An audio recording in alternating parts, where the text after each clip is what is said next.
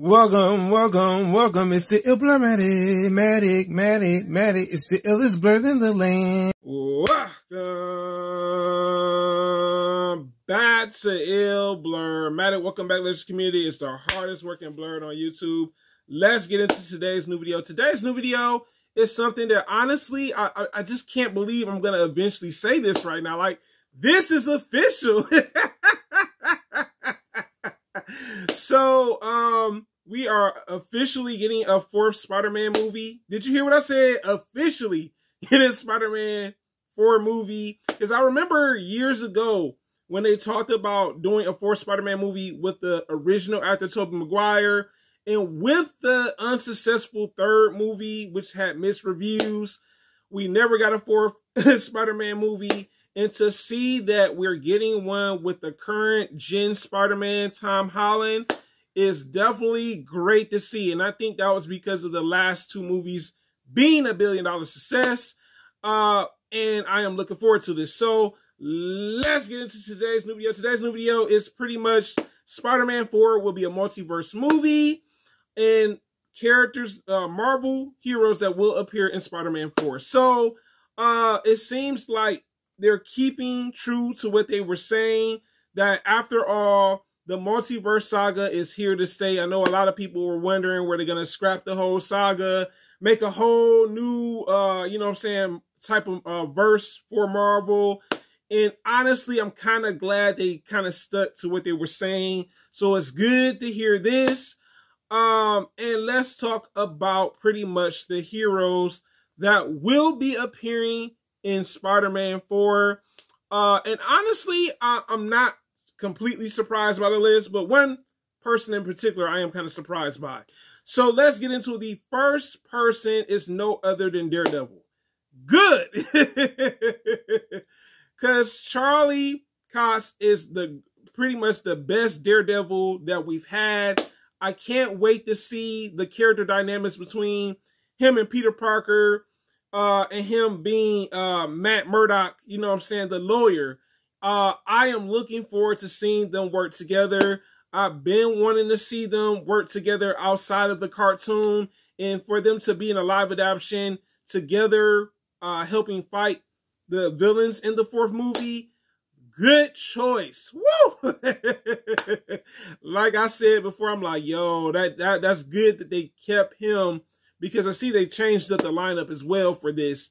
Um, the next character is someone that had a movie, right?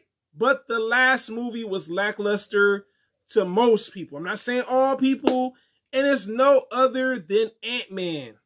That's an interesting choice. I, I wasn't expecting to hear that Ant-Man was going to be helping Spider-Man and Daredevil. Um, but I gotta say, uh, the actor that plays Ant-Man does a fantastic job. I can't lie. I was like, you know what? He does a great job playing Ant-Man. He's bodied the role. Uh, and it's an interesting dynamic here. Okay, you got Daredevil, you got Ant-Man.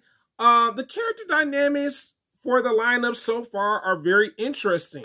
Now, let's get to the final choice. The final choice we've actually seen if you paid attention to Spider-Man, uh, No Way, not No Way Home, excuse me, Homecoming, excuse me, Spider-Man Homecoming, she was briefly seen in a school scene right along with Spider-Man's classmates. And who is ill blurred matter talking about? No other than Black Cat. About time. I said, man, the way Sony be blocking villains to be in Spider-Man movies is unheard of. And I'm kind of glad that they have Black Cat. I'm kind of want to see another character dynamic with another character that's maybe a potential love and interest of Peter Parker. And this works out because the way Spider-Man uh, No Way Home ended, we see that Peter and Mary Jane are not together. So this will be like his new romance or new flame, as some people would call it but also she is a crime fighter to herself. So um I like this. I like that we finally are getting to see Felicia uh get her appearance in the movie because I did not want to see a standalone Black Cat movie. I'm not gonna lie to you guys. I'm like, good. Sony, you did something right this time. Um, and like I said before, she's been in the very first Spider-Man Homecoming movie, briefly seen in a cameo. And I said, I wonder, are we ever gonna see her make her debut in a Spider-Man movie? Uh, I am looking forward to this Spider-Man movie. Hopefully the story's decent and probably it'll take place maybe in between the Avengers movies. Most likely, uh, is what they were saying from what I've saw so far. Um, I, I'm definitely looking forward to it. The lineup is definitely solid.